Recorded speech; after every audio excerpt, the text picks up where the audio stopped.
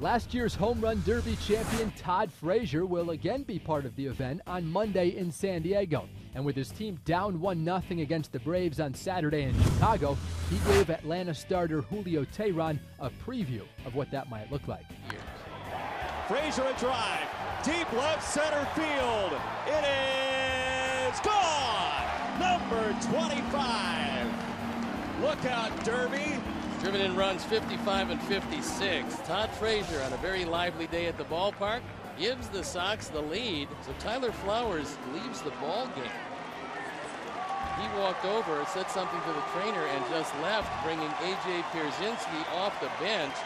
He gets a standing ovation from the fans here at U.S. Cellular Field. They still remember what A.J. did for this team, and they're getting their first chance to show it to him in a Braves uniform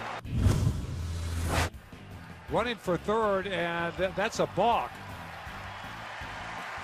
Yes, it is. Running for, th for third was Shuck, and he made the pitcher balk. They get two bases up. Yeah, Shuck goes to third. Anderson from first to second. Now base hit gets two in. And now you're messing with the uh, mind of the pitcher. He's going to have to regroup. The pitch to Abreu, swinging a line drive right center field. Anderson stopped at second. He's getting the stop sign now at third. Shuck is home. It's 3-1, and Anderson had to turn around, Darrin, see where the center fielder was. See nobody home with Freeman having to hold Melky close. And Beckham playing on the third base side of second. Two strikes on Frazier. Toward right center field for Todd, and this ball is gap worthy. Abreu scores, Melky stops at third, the surge continues on a Frazier RBI double.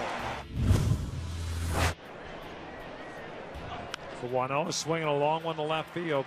Going back Cabrera at the track. He'll watch it fly out. Francoeur has closed the gap on a two run homer. It's now 5 to 3. Beckham has scored two of the three runs. There you look at AJ